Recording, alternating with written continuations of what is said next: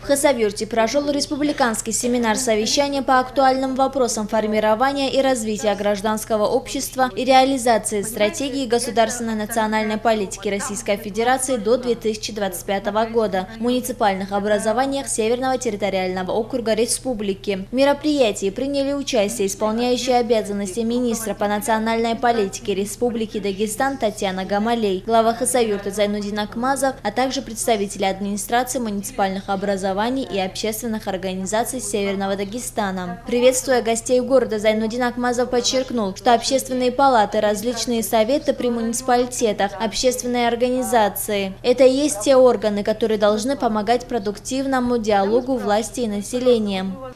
Я рад вас приветствовать здесь, в городе Хасавюрте. Были рады показать вот наш центр традиционной культуры народу России – будете, наверное, иметь представление вообще.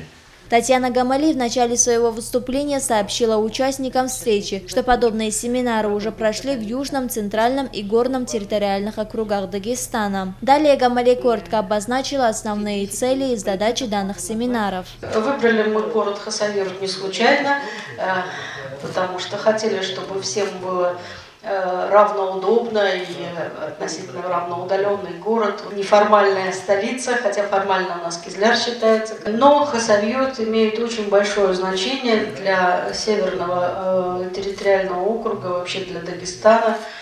Одна из таких э, точек, э, организующих вокруг себя очень много и экономической жизни, и социально-политической, и культурной жизни. Подводя итоги, Татьяна Гамалей поблагодарила всех участников встречи за активную работу и заверила, что Министерство национальной политики Республики Дагестан все предложения представителей муниципалитетов всех четырех округов республики представит в виде методических рекомендаций по совершенствованию деятельности институтов гражданского общества в муниципальных образованиях Дагестана.